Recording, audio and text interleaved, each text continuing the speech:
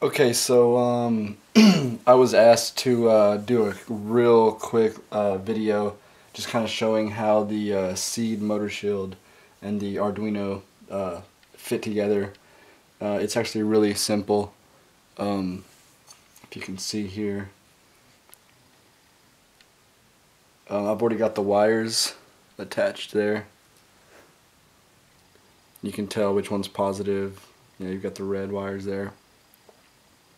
Um, it just takes a little uh, slot screwdriver to uh, see if I can get that to focus there. Yeah, if you can see that.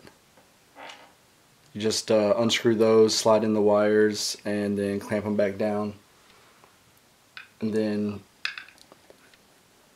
sliding it in is really simple. You just line up the uh, this green part right here with the uh, the front where the power and the USB adapter go and then you just line up the uh, the pins and apply a little bit of force. And it just slides right on in there. Really couldn't be much simpler. So yeah I hope that uh, answers the questions. If not leave a comment. And I'll uh, see if I can help you out there. I'm also going to try to find the code that I used in the last video. And I'll put that in the uh, description so check that out and yeah, don't forget to subscribe.